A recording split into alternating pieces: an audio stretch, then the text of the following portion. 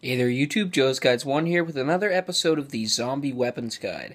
Today's episode we'll be reviewing the Cinder Block, which is not a great weapon. Probably a really bad one.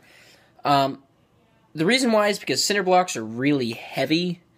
Um, like 20 or 30 pounds. I don't know. I don't, I don't really care. That's probably, that probably makes me sound like a huge pussy, but whatever. Um, they're really heavy, which means that it's going to be harder to, you know, use it more. And plus, they break apart really easy, too, which is another bad thing. Um, you know, like I said, they're heavy, so you can't really use it that much. And, um, pardon me. And, um, I mean, I can't really think of any situations when you would want to use it because it's such a small weapon and it breaks so easy and like you know in the test the only thing i could think of is if like you got some zombie on the ground and you smashed its head in with the cinder block. That's all i can think of. Um, i guess you could throw it at him that's a good thing. You could throw it and you could build a fort fortress out of it. So maybe if your barricade starts coming down you can just pick one up um, as a last resort. You know that's a good thing. Um, but aside from that i can't really think of any uses. So uh, anyway let's get to some tests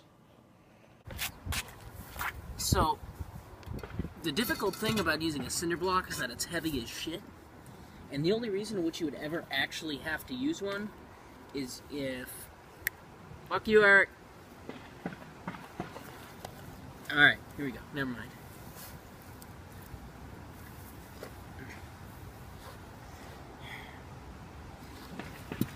No, but anyway, the only reason you would ever actually have to use one is if you're like standing over somebody that you just knocked down. That's the only time I can really see using one of these. But um, anyway, here we go. Hope you can see this.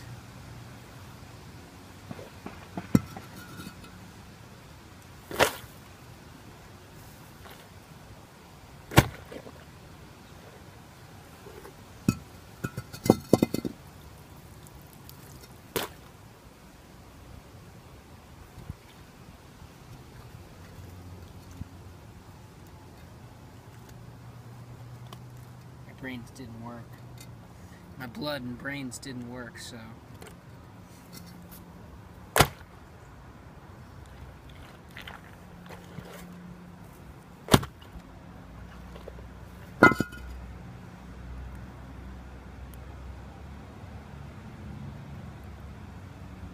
Want some?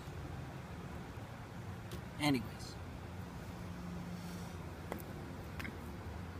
Until next time, this is Joe's Guides 1 saying don't fear the apocalypse. Welcome.